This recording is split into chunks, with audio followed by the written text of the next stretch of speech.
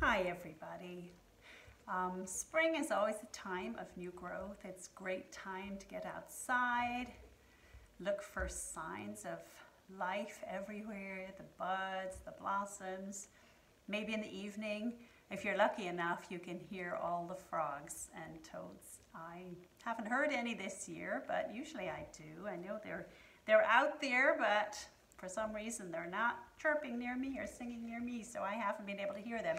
Um, it's a great time to look at life cycles, so I would like to talk a little bit more about um, the life cycle of the frog. So it's also going to be about toads. It's a warm spring day. After the long cold winter, the trees are turning green again. The animals are busy.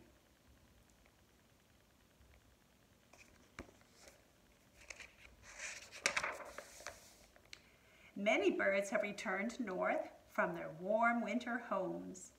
Listen to their songs. Crickets chirp loudly, adding to the din. At the pond, cattails and alligator weeds grow tall. Beautiful water lilies dot the surface.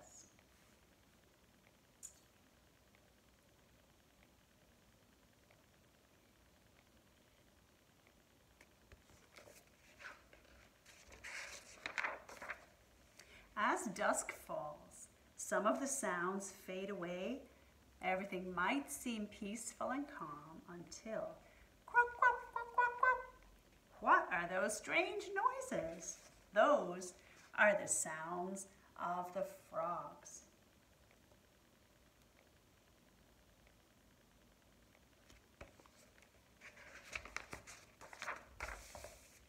A chorus of male frogs and toads has gathered at the pond tonight, and each one is calling to attract a mate.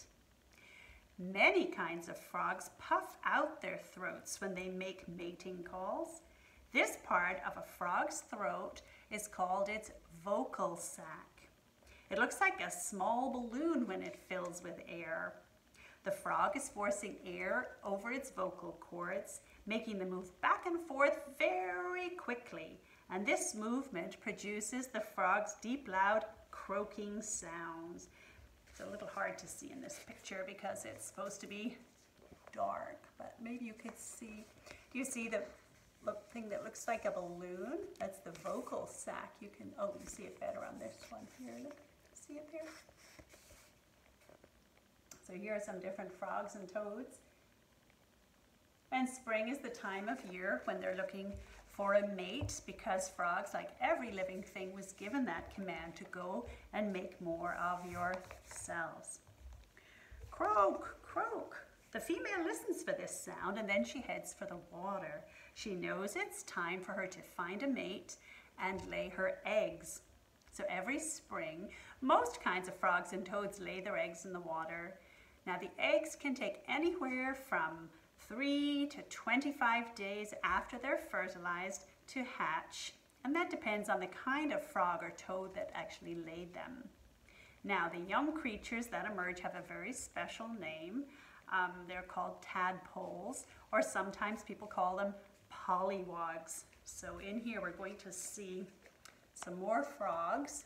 There's a lovely lily. And then we see down here, you see this big clump of eggs. Get to talk a little more about their eggs. So frogs and toads are actually closely related. Um, their young will develop into fully grown adult animals in much the same way. And we're going to take a little look at how that happens. And um, before the tadpoles hatch, the female lays thousands of eggs at one time, and the eggs are covered in a jelly-like substance, and that protects them. And the little eggs look like the tiny little black dots inside. Now, frogs will lay eggs in big clumps or clusters. That's something that's different to toads. Toads have long strips, like ribbons of eggs, and um, they twist around the water plants. So I'm going to show you a picture of a couple of One's a frog and one's a toad. So we see a bullfrog and a big toad there. You can sometimes tell the difference between frogs and toads by their skin. The toads tend to be a little more bumpy or warty looking. And here are the eggs. So if you find eggs in the big clumps like this, we know they're from frogs. We can call that frog spawn. And here we see the ribbons of eggs, and we know these came from toads. So if you're lucky enough to live near a pond or a little lake and you get to see any of these eggs, you'll be able to tell the difference. Now, out of the thousands of eggs that are laid, only a few survive. So the rest of those eggs become food for other creatures that live in or near the pond. You may have seen ducks at ponds. They're sometimes going down for the duckweed, but they'll also eat the little eggs. Uh, different kinds of birds will eat them, fish, even sometimes salamanders will come and eat them. And here's a picture of some of the creatures in the pond. You see a turtle as well. They'll come down, and we see some different creatures here fish and there's a duck and a salamander. They come down and they eat the eggs. That's why they lay so many because we know that most of them will not survive. Now after a few days, the eggs will grow longer and flatter and if you were able to look at some, while they're in the water, you'll see them start to take these long shapes and they'll start to wiggle inside those jelly sort of clumps. Now the jellyish stuff provides protection but also nutrition. The eggs of the tiny tree frogs, and they're called spring peepers, those cute little frogs, they hatch in about four days. But if you have a bigger frog like a leopard frog, maybe 10 to 12 days. And larger frogs, such as the Goliath frog, can take about three weeks to hatch. And here are some size differences. Here's the little spring peeper. Those are the ones that I love to hear, but I haven't heard any. Here's a leopard frog. And here's a Goliath frog. He's huge. He's so big he's hardly in the picture.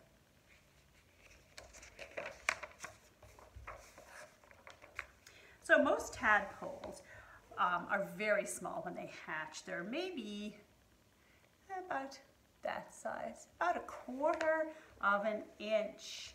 Um, and then they'll attach to pondweed or something and just hang on there. They don't really um, have eyes and things yet.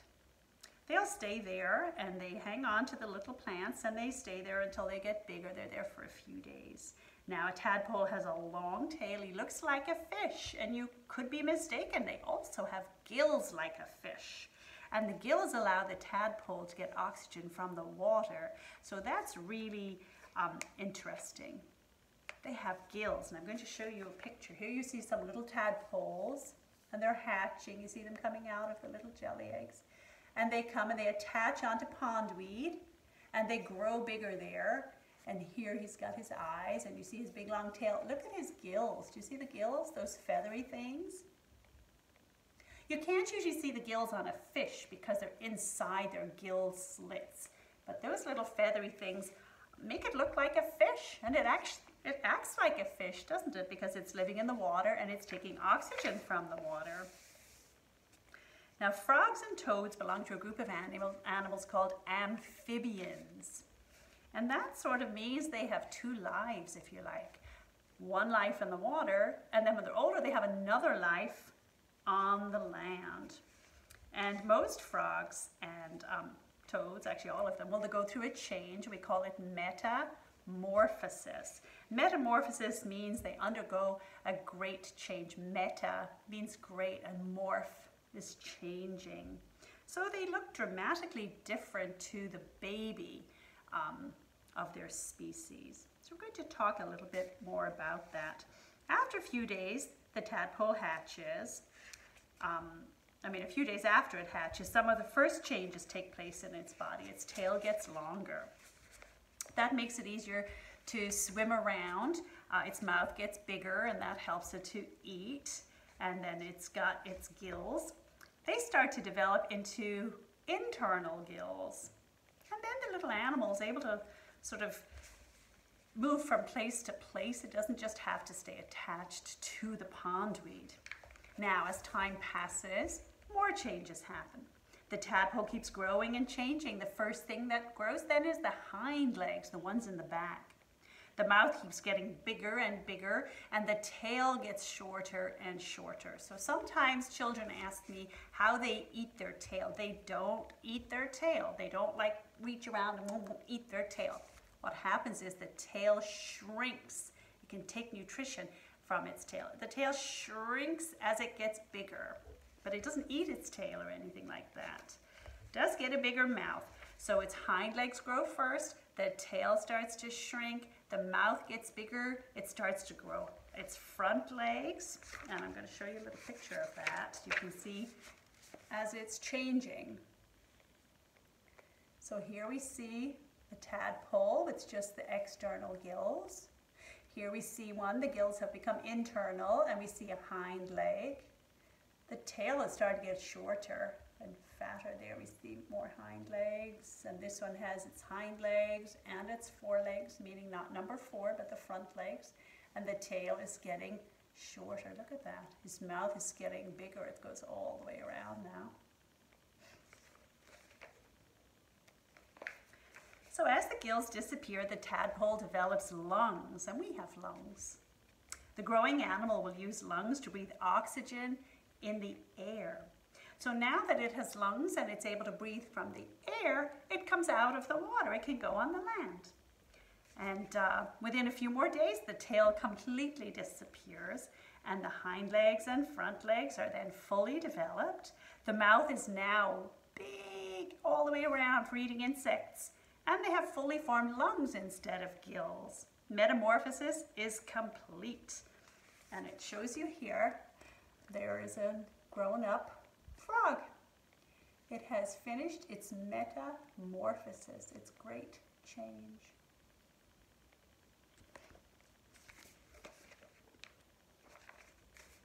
Now the front legs are strong and they're long and it's able to jump or hop.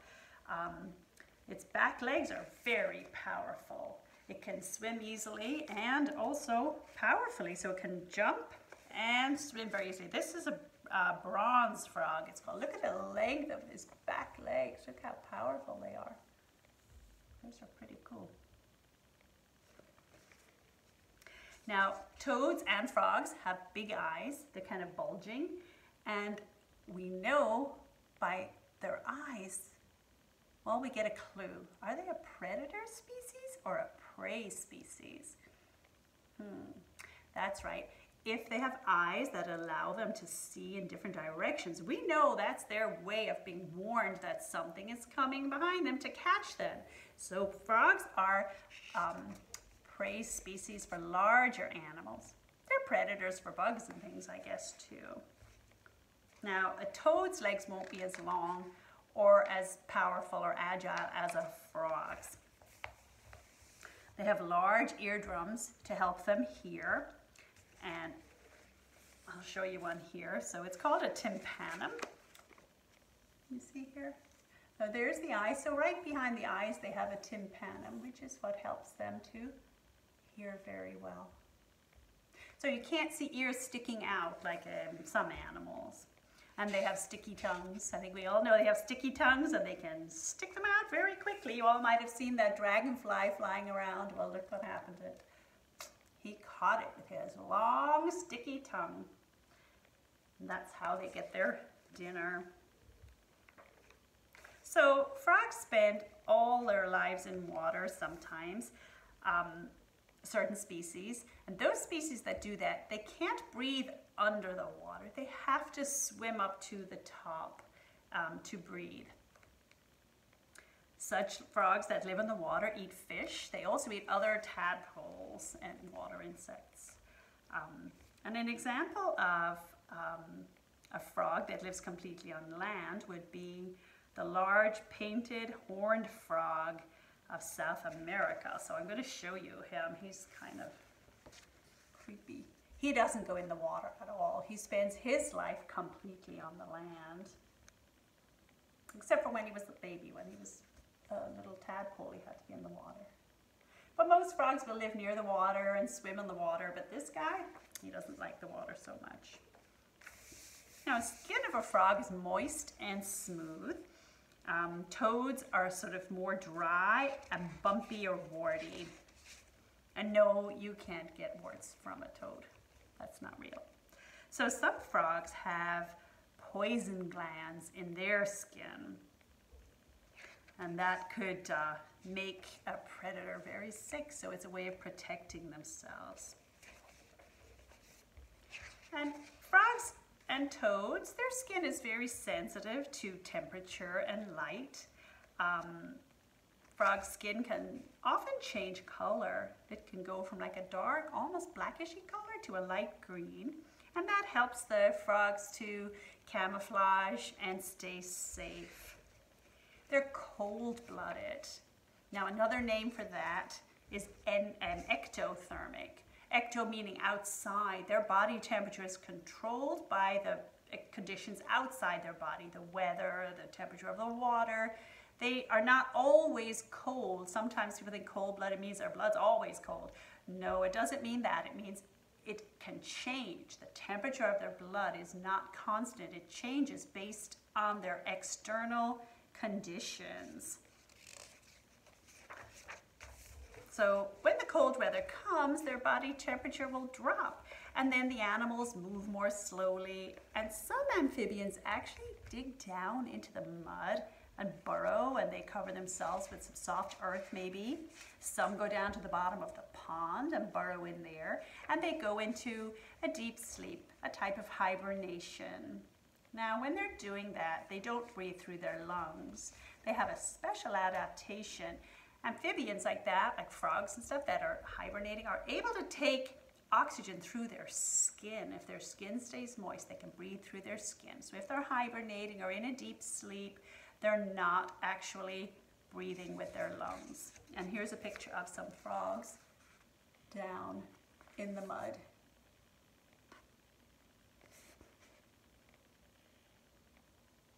And they're sleeping down there. So there are many different species. We think there have been about maybe 2,700, but those, those numbers change. Um, just in North America alone, there are over 70 species. They're found all over the world except Antarctica. It's too cold there for them. And here are some pictures of some different kinds of frogs or toads.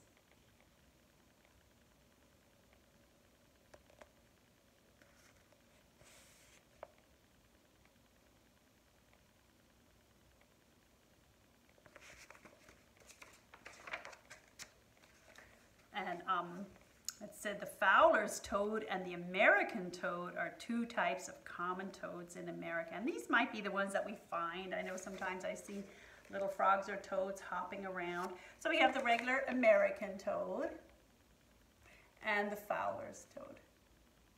They're two common types in America. So you've probably come across one of those. Frogs come in many different sizes and they have interesting habits. Um, this is called, this one is the tiny spade foot. And he has a special adaptation. He has sharp back legs and he likes to dig. So just like any species of animal um, or type of animal, frogs and toads also have differences and special adaptations to help them survive um, in their habitats. Now the largest frog is the Goliath frog. He's huge. His body is almost a foot long. So let's think a foot, about 12 inches is about that long. And that's just his body. Now his feet, think of the hind legs, how big they are. His feet could be about two more feet in length. You can't, I can't even fit it in the camera. So his back legs would be about this long. So you could add his legs to his body and you can use your imagination. He is huge. And then there's a little grass frog. Look at this little guy. He's teeny weeny and that's his real size. So look at my fingernail and then look at him. He's barely bigger than the tip of my finger. So it says next time you're walking in the woods or near a pond, be very quiet and alert. You might see a frog or toad go hopping by. Watch it closely and listen for its call. It's fun to explore the world of amphibians and to observe these interesting creatures. So maybe you're lucky enough, as I said, to live near a pond or to be able to hear them at nighttime. They're so, so pretty. Um, but they're also very sensitive to pollution. So be careful. Keep your water nice and clean. Don't let um, litter go down the drains or in the ponds and things like that. Um, I hope you enjoyed learning about frogs and toads and I'm going to have further lessons, so watch out for them. Bye.